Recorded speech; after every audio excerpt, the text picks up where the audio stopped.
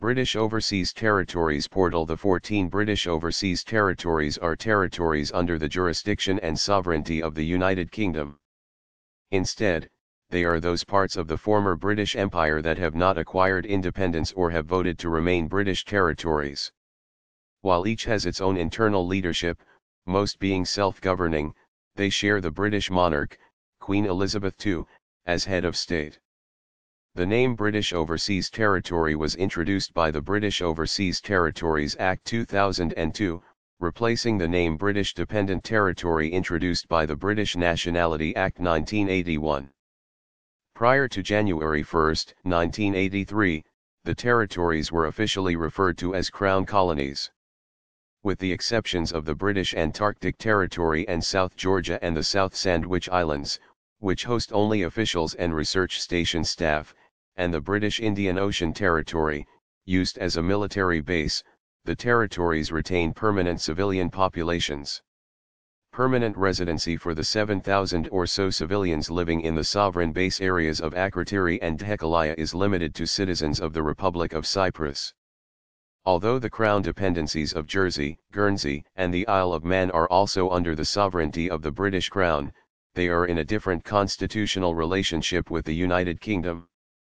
The British overseas territories and crown dependencies are themselves distinct from the Commonwealth realms, a group of 15 independent countries, and the United Kingdom, each having Queen Elizabeth II as its reigning monarch, and from the Commonwealth of Nations, a voluntary association of 53 countries mostly with historic links to the British Empire, which also includes all Commonwealth realms.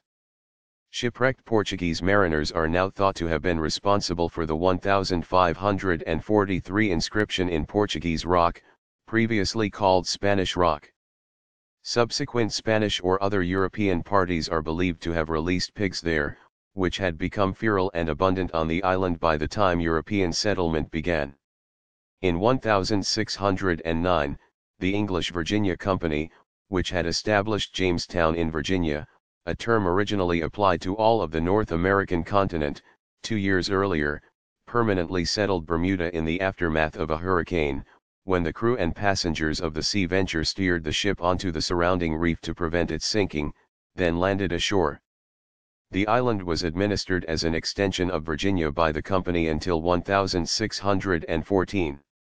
Its spin-off, the Somers Isles Company, took over in 1615 and managed the colony until 1684. At that time, the company's charter was revoked, and the English crown took over administration. The islands became a British colony following the 1707 unification of the parliaments of Scotland and England, which created the Kingdom of Great Britain. After 1949, when Newfoundland became part of Canada, Bermuda was automatically ranked as the oldest remaining British overseas territory. Since the return of Hong Kong to China in 1997, it is the most populous territory. Its first capital, St. George's, was established in 1612 and is the oldest continuously inhabited English town in the New World selected biography in the new selected picture categories topics related portals wiki projects wikimedia purge server cache